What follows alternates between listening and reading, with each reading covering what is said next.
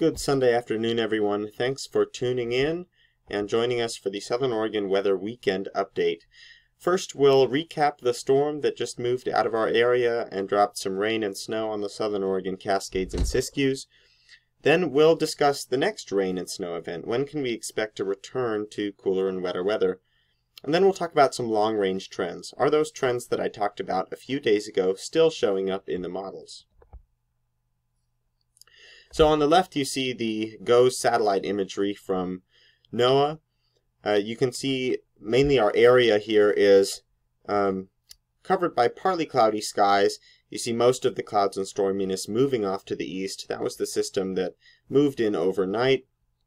But right now there's really not very much going on when we look at the radar from the KMAX on top of Mount Ashland. Some light showers over the Cascades and some clouds hanging around Mount Ashland as well.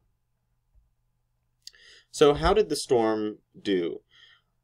Forecasts were generally calling for 6 to 12 inches for the southern Oregon Cascades and up to 3 or 4 inches, potentially as much as 6 inches for the Siskiyous. Mount Ashland at 6 a.m. reported that they had 1 inch of snow at the snow stake in the last 24 hours. And when I was skiing up there today, it felt more like 2 or 3 inches. So in general, um, the storm did underperform a little bit, but storm totals were closer to um, what was expected than Mount Ashland's snow report would have suggested. You can see uh, current road cameras uh, at Lake of the Woods, Dead Indian Memorial Summit, and Union Creek, all showing some snow that fell overnight. Of course, some of that's melted off. Uh, you can see Union Creek already has a high of 38 degrees. Um, but in general, most areas in the southern Oregon Cascades and Siskiyous did pick up a couple inches of snow. So let's briefly look at what we can expect for the rest of the week in terms of weather. Uh, this is from the Weather Channel, and it looks like gradually we'll see some clearing skies, some sunny skies toward the middle of the week, and temperatures gradually creeping up to average and maybe even a little bit above by the end of the week. Now I'm using the Weather Channel specifically because uh, on average, the Weather Channel has been 8 percentage points, 7 to 8 percentage points more accurate than the National Weather Service forecast, um, both for uh, the last month and for the last year. When we look at major cities uh, relatively close to us, like San Francisco and Seattle, Washington, the Weather Channel has just done a much better job than the National Weather Service forecast. And the reason for this is actually because um, the Weather Channel uses an algorithm that prioritizes weather models that have done particularly well uh, recently. So let's say you have the GFS US model, you have the Canadian model, you have the European ECMWF.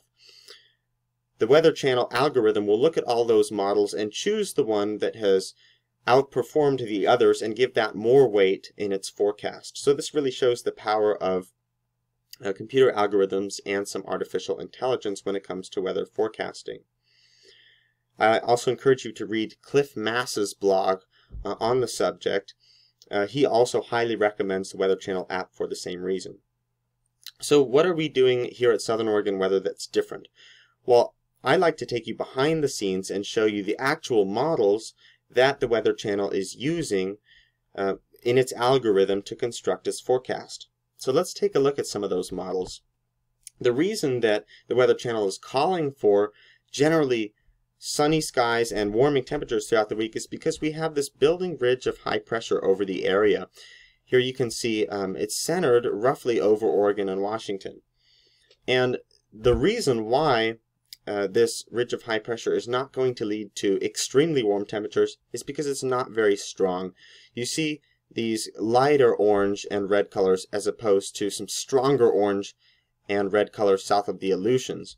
So because this is a, a relatively modest ridge of high pressure, we're just going to see a generally pleasant and pretty seasonable weather for the end of the week. However, this looks to change going into next weekend. Uh, once again, we are facing the possibility of seeing a storm system for the weekend. Here's the GEFS, American Ensemble model. So again, an ensemble blends together many different computer model runs and looks at the average. So it's somewhat more accurate than relying on um, any single model run like the GFS or the Canadian CMC. So here you can see this trough, this area of storminess and, and cooler and wetter weather indicated by these blue colors, dropping down from the Gulf of Alaska and moving into the Pacific Northwest. So here are two of the models that we've talked about, the GFS in the lower right-hand corner and the GEM, or the CMC, the Canadian model, in the upper left-hand corner. Um, this is the system that is uh, expected to move through this coming weekend. You can see um, it comes in in a northwest flow pattern and drops a pretty healthy amount of rain and snow on the southern Oregon Cascades and Siskiyous.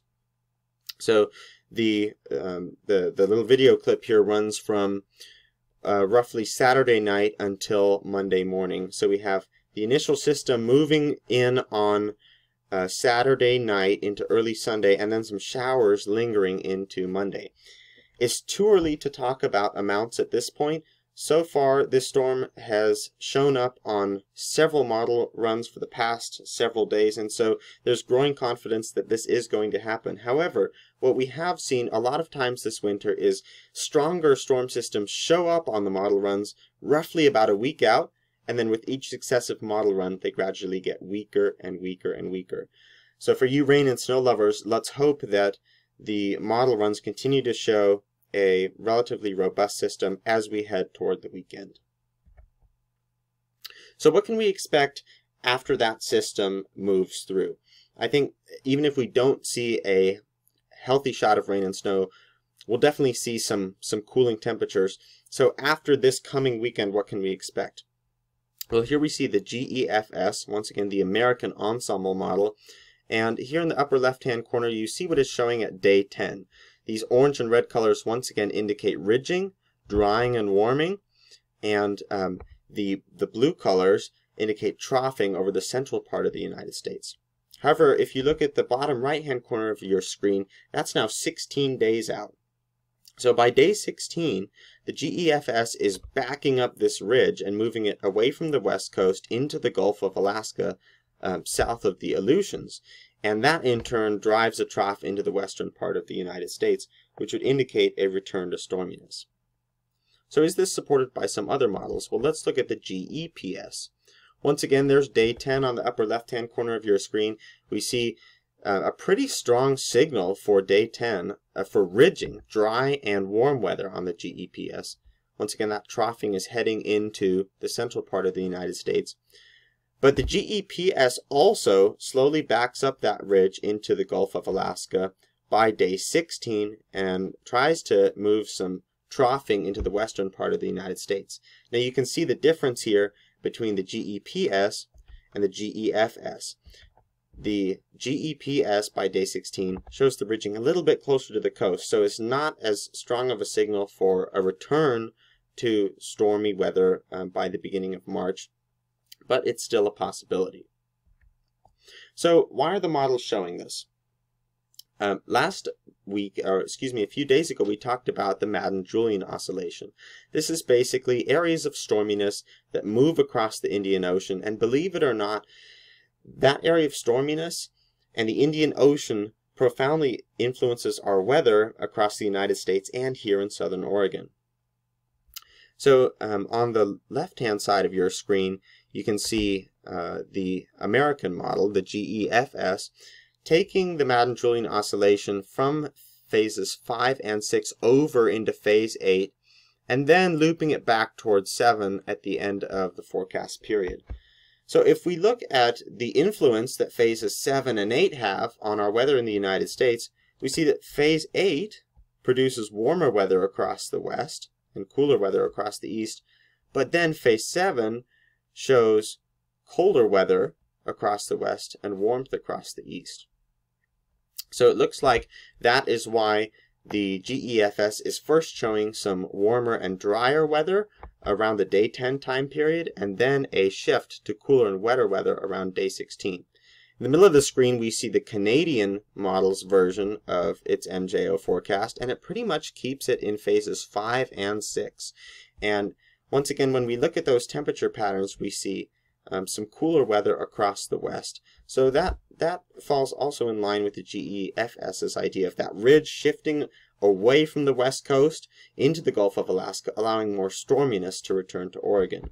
Finally, on the right, we see the European Center um, and its forecast for the Madden-Julian Oscillation. And you can see it takes it into phase 8 and then takes it into what is called the null phase. That's that circle in the center of the chart here, where the MJO really doesn't have that much influence. Um, so the ECM, the European model, really isn't as optimistic as the other two models for a return to cold at the end of the month and the beginning of March, but it could still be a possibility. So, to recap, uh, first we can expect dry and predominantly sunny weather and a gradual warming trend through this week, but there's growing confidence in colder and wetter weather for this weekend. In the long range, uh, we're still looking at those ideas that we talked about a few days ago, maybe some dry and warmer weather about 10 days out, followed by a possible return to storminess in early March. It will really depend on what the Madden-Julian oscillation does. If it moves into those colder phases, then a return to storminess is a greater possibility. Guys, thank you so much for tuning in. Uh, don't forget to set your notifications for the coming midweek update in a few days, and please like, share, and subscribe if you enjoyed this content.